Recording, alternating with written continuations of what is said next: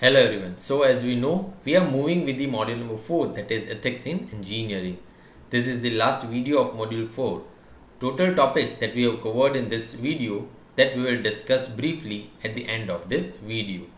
So let's start with the new topic that is responsible professional and ethical corporation.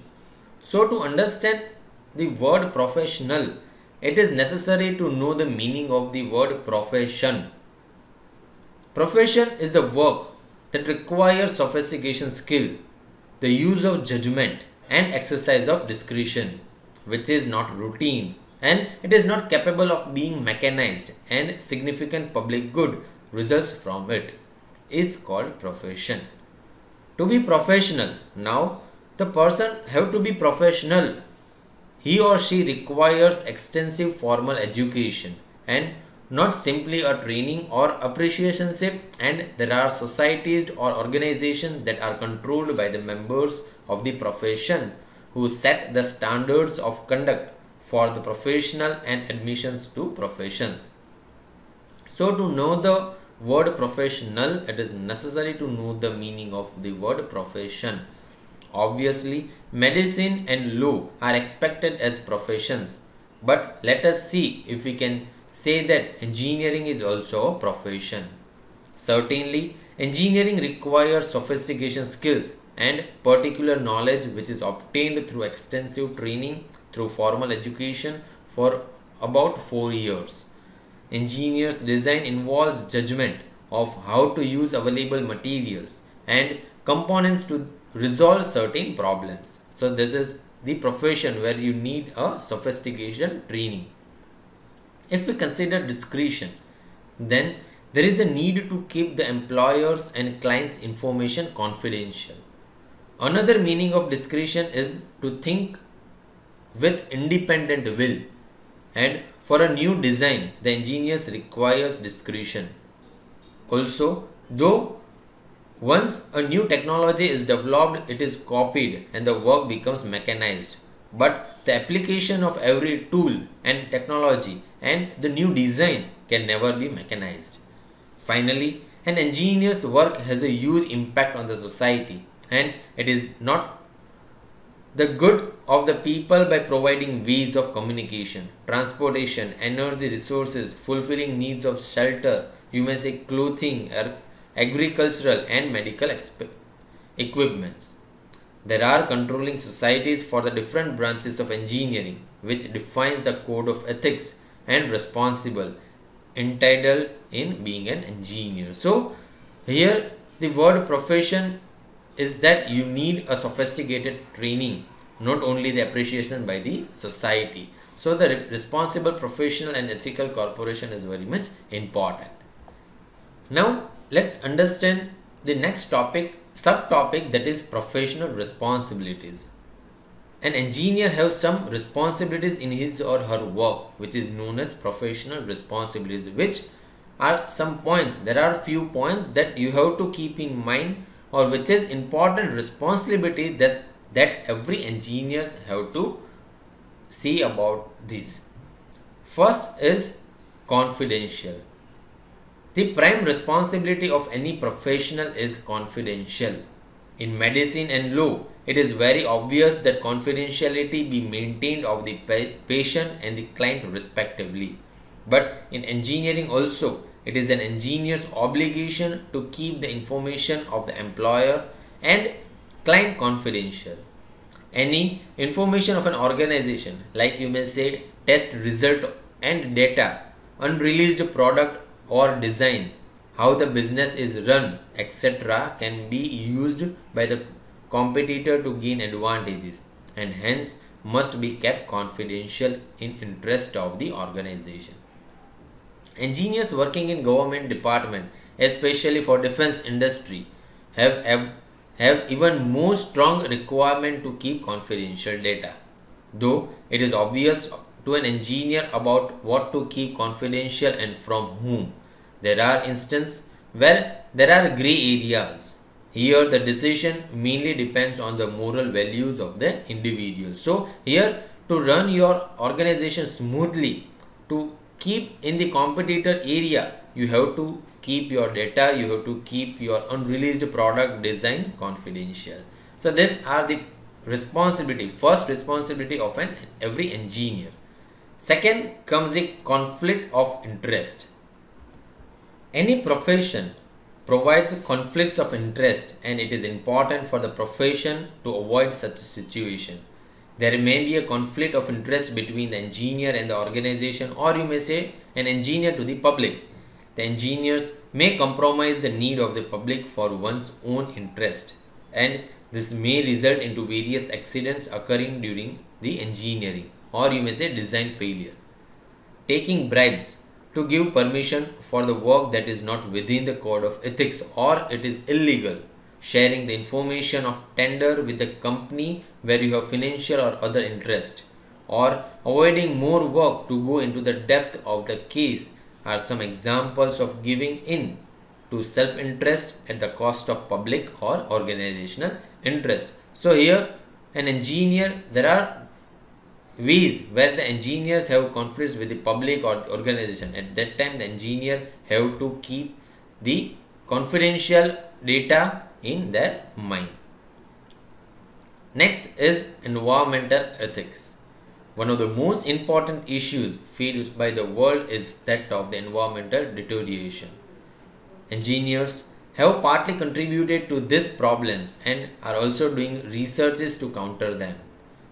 The detrimental effects of the use of technology has made the societies and corporations more alert about them and hence have laid down various norms for the organization and engineers to carry out their responsibility for the environment protection.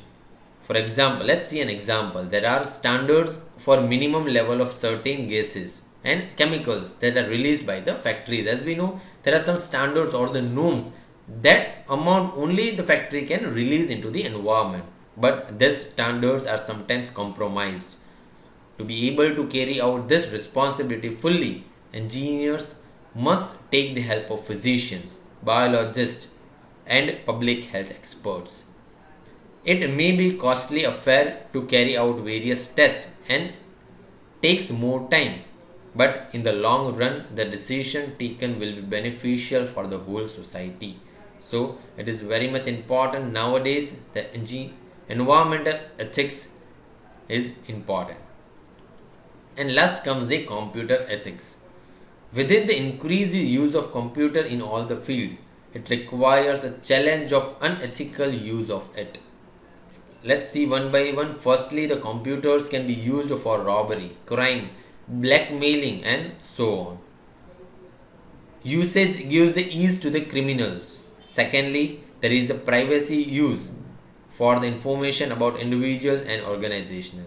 Leak of such information of individual leads to harassment in terms of repeated phone calls from the telecallers or even harassment in terms of subtle teasing. Again thirdly we can say hacking is used to access the private information. As we know this is a very recent problem nowadays hacking is used to access the private information and change or destroy some important information. Many organizations have developed the codes of ethics for computer use. They are guidelines for the ethical use of computers. So these are the four responsibilities that everyone have to every engineers have to keep in mind while doing his or her authority let's see one by one. First is confidentiality second is conflict of interest third we have seen environmental ethics and fourth is the computer ethics. And now the last topic of module 4 that is ethics in engineering. Let's see the scope of engineering ethics. Why it is the need where you implement the engineering ethics so ethics is the study of moral principles as we have discussed. Ethics is the study of the moral principles that governs a person's behavior or conducting an activity. Engineering ethics is the rules and regulations that governs the decision and actions of an engineer as a professional. This both definition we have covered at the beginning of the module 4. During their engineering studies, as we know the engineering studies carries the 4 years. During this 4 years, the student receive the knowledge of the basic science and its applications, problem solving and designing, but receives the little training in business practices, safety and ethics. There is no such courses that gives the knowledge of training in business practices, how one keep the safety during his or her work and the knowledge of the ethics. Moreover, engineers face situations where they have to deal with many things that are not known to them as a result of the design of the new device or product. This places a few challenges on engineer as far as decisions are taken. Before putting this design into the market, when an organization is putting some product into the market or implementing the new ideas, an engineer must see all the aspects. For example, he or she have to ask the questions like whether it will work, its impact on the lives of people, public, its working under different conditions and its safety measures. Hence, it is important for an engineer to be more imaginative and check all the kind of possibilities. An engineer must apply critical as well as creative thinking here to make a new design will work safely or will not harm anyone. Most engineers do not encounter cases like above where there is a big loss of life and the issue may create a huge disturbance in the city or the country. But every engineer faces challenges, situations that requires careful ethical reflection and decision making. So here as we have discussed in the engineering studies the student give the ideas of the design the examples the problem solving but get a minimum study of the ethical and the safety. So here you can use the engineering ethics in your work. So as we have see as I have said this is the last video of module number 4 that is ethics in engineering. Total we have covered this much topics. First is ethics second is the ethics in engineering we have discussed. It is the rules and regulations or the practices that an engineer have to follow during his work. Secondly we have covered making moral choices. That is when an engineer puts in a difficult situation he have to select an option which is ethical as well as effective. This is the making moral choices. Again resolving ethical dilemma. When an engineer put it in difficult situation he or she have to resolve the dilemma resolve the problems in the organization that we have discussed in this topic resolving ethical dilemma. Next we have discussed accepting and sharing the responsibilities how engineers accept responsibilities how we share to his employees to his colleagues that we have discussed in this topic. Today we covered the topic professional responsibility and at the end we have see where this ethics is required why it is a need to learn the ethics in engineering. So this is all about the module number 4 that is ethics in engineering. In the next video we will start with the new module. Thank you.